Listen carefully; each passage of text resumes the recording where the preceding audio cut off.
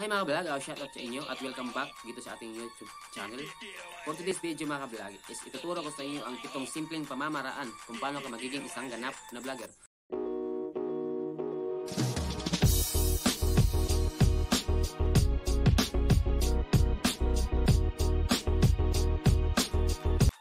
Nga mga vlog, no? bago po tayo magpatuloy sa ating topic ngayon, kung hindi ka pa nakasubscribe sa channel ko, huwag mo na kalimutan mag-subscribe at i-hit ang notification bell para ma-update ka every time na mag-upload ako ng bagong video. Kaya simulan na natin. Simple 7 tips kung paano ka magiging vlogger. So tip number 1, be contented what you have. Kung ano mang meron ka, cellphone, or magandang kamera, kung wala ka namang magandang kamera, so pwede cellphone. Di ba? Dahil hindi naman yung magiging rason na wala kang magandang kamera para hindi ka makapag-vlog. Anytime ka makapag-vlog, gamit lang ang iyong mobile phone. Di ba? Dahil hindi naman lahat tayo makakabili ng mga mamahaling kamera kasi hindi, hindi naman tayo mayaman, di ba? Pero kung gusto mo vlog tapos wala ka namang magandang kamera pero may cellphone ka, so yun lang yung gagamitin mo. Di ba? Ganun na kasimple mga ka-vlog. So tip number 2, be confident. Dahil pinasok mo yan, dahil pinasok mo na ang pagiging vlogger, kailangan kung nagbablog ka, dapat bibigyan mo ng buhay yung pagiging vlogger mo. Kasi pag underconfident ka naman, ito yung madalas mangyayari sa mga baguhan. Kagaya ko mga ka-vlog, no? Pero actually, yan po ang ginagawa ko ngayon, balik pinapractice ko ngayon. Dahil mahirap kasi na mag-vlog ka na wala kang confident. Dahil ito ang mangyayari sa'yo. Tingnan mo, yung nasa screen. So, hey mga ka-vlog, nandito, nandito po ako ngayon sa sa ilalim ng puno ng papaya. Nagbablog ako.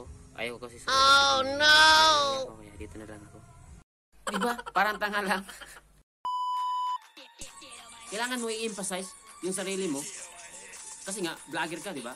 So, ang ibig sabihin, mga ka, ka-vlog, no? Mga kaibigan, kung gusto mong magiging vlogger, wala kang paki sa mga nakapalibot sa'yo. Ang isipin mo, masaya ka sa ginagawa mo. Dahil nga, vlogger ka, di ba? So, ganun lang kadali, mga kaibigan. Walang manonood sa'yo, di ba? So, ngayon, tip number 3 editing skill. Ito yung mga dahilan mga ka-vlog no, na mabibigyang buhay yung pinaghihirapan mo. For example, hindi ka naman magaling kung paano ka mag-vlog o magsasalita, pero marunong ka sa editing skills, di ba? Editing skills. Kumbaga, marunong ka mag-edit. So, magiging additional points yun. Kumbaga, magiging gateway yun para panoorin ka ng maraming tao kasi nga, napakalupit mo mag-edit sa sobrang galing mo mag-edit, bali na entertain yung manonood sa'yo. So, yun ang dahilan, kaya maraming manonood sa mga video mo. Di ba? So, tip number 4, be fearless. Alam nyo kasi mga vlog no? Lahat naman tayo ay nagkakamali, di ba? For example, nabubuhol ka, di ba? Lahat naman tayo.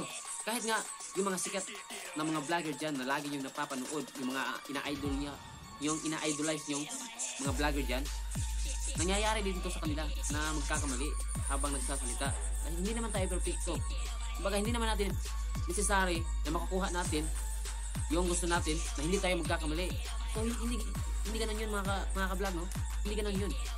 Kailangan mo pa kasi, kumbaga, na, nasa proseso pa kasi para ma-perfect mo yung sinasabi mo kung paano mo i-deliver yung mga sinasabi mo para maiintindihan at lalo magugustuhan ng mga manonood sa'yo.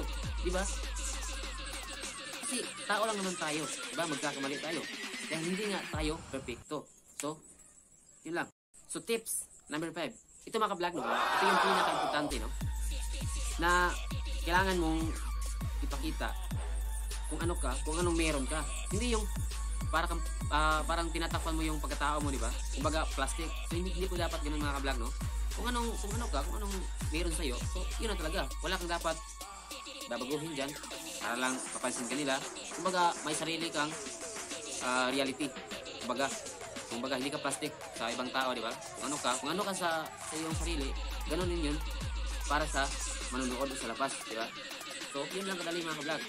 So, tip number 6. Ito naman yung karugtong dun sa tips number 5. Isa din to sa mga pinaka-importante. Content. Yan mga ka-vlog. Yan talaga ang pinaka-importante kung magiging isang ganap o papasukin mo ang mundo ng pagiging vlogger. Kailangan may sarili kang content. Kasi ang pagiging vlogger mga ka-vlog, hindi kasi yun, hindi kasi yun ganun kadali na gumawa ka lang ng video dyan para sa iyo content na yun. Hindi po.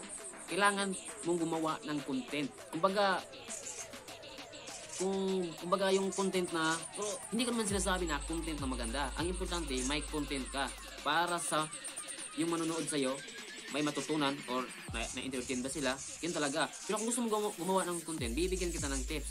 Bago ka gumawa ng content, kung maaari, ilista mo yun, di ba? Ilista mo. Para pag nagbablog ka, yun, ipapasok na yun sa isip mo para magawa mo na yun ng diretso. Kasi, alam niyo kasi no, sasabihin ko sa inyo, ang pagiging ganap na bag, ah, ang pagiging ganap na vlogger o isang pagiging vlogger, hindi kasi ganoon kadali. Hindi hindi hindi rin ganoon kadali kung mag-iisip ka ng content. Baka baka akala nila na kung nag-vlog ka, ganun lang kadali. Hindi po, sobrang hirap po. Lalo na pag content creator ka, mahirap. Kailangan mo talaga mag-isip. Kumbaga, parang pinapasok mo sa isip mo, di ba? Ayun. Tapos, kumbaga, ah, kumbaga, ah, isang word lang yun. Yun, isang word. Yun ang magiging content mo. Tapos, bibigyan mo ng buhay. Kaya nga, tinatawag siya na content. Ang panghuli sa ating listahan, tips number 7, the last but not least, ay ang thumbnail. Isa yun sa pinaka-importante, no? Nalagyan ng thumbnail yung mga video mo. Kasi pag wala ang thumbnail, hindi magiging growth yung YouTube channel mo. Thumbnail plus growth equals more views.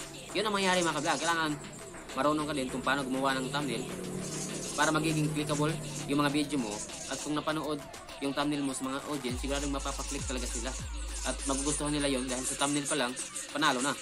Kailangan mo din mag-practice kung paano gumawa ng thumbnail. Ah, so yan na nga po, no? sana may, natut- may natutunan kayo sa video na to. Ah, maraming maraming salamat sa inyong panonood at sana hindi kayo magsawang sumuporta sa aking YouTube channel. So bago ang lahat mga vlog no, kung hindi ka pa nakasubscribe sa channel ko, huwag mo na kalimutan mag-subscribe at i-hit ang notification bell para ma-notify ka every time na mag-upload ako ng bagong video. At kung gusto niyo malaman mga ka-vlog no, kung paano gumawa ng thumbnail, mag-comment lang kayo sa baba para magawan ko ng video at para naman makatulong ako sa inyo base sa aking nalalaman. At para dun sa mga nagsisimula at kakasimula pa lang, kumbaga small YouTuber, tuturuan ko kayo kung paano gumawa ng thumbnail. So, comment lang kayo sa baba at sana nagustuhan nyo. So, yun lang po. Peace out.